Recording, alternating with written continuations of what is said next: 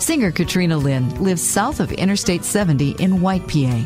And while she may be a teenager, her CD, Toe in the Line, shows a strong traditional country influence. I'm 18. I graduate this year. The very first career I ever wanted was I wanted to be a singer. I just remember being about three or four and watching the Country Music Awards, and it was such a big inspiration to me, and I just really wanted to be there. I just three years ago decided I really wanted to make that my career, and it's just really been soaring since. Was there a moment that you said, I want to do this? Yes, I actually had stage fright really bad, but my grandpa always knew I had that talent, and he was persuasive and supportive of me, and I just kind of woke up one day and decided that's what I wanted to do with my life. Do you still get stage fright? No, actually not that much anymore. You have a CD out, Toe in the Line. I saw on your CD you thank Grandma Rose for playing my music for the whole town. My grandma, when the CD came out, she was so excited that she ran outside and turned the boombox up as loud as she could so that literally the whole town would hear the entire CD. All kinds of people from all over, when they heard the music, came to see what was going on. So it was like a little party got started. The song we're going to play is I Feel So Country. I Feel So Country just kind of felt like me.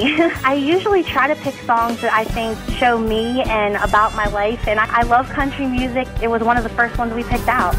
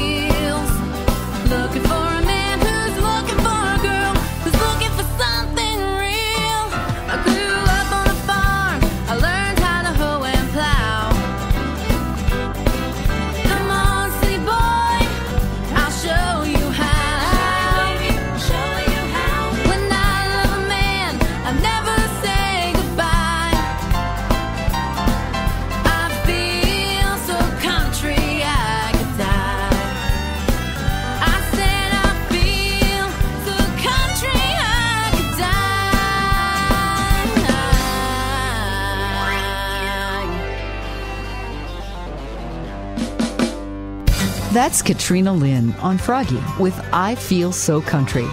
You can stay up to date with Katrina and all of our local artists at froggyland.com.